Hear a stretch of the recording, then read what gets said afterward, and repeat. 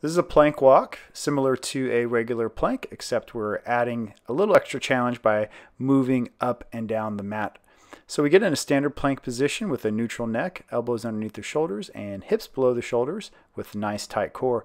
And we're just going to walk up the mat by picking up our forearms and feet off the ground and traveling up the mat, kind of like you would see a soldier doing underneath barbed wire. So I always cue clients to keep their hips below the barbed wire on this. Up and down the mat is one rep.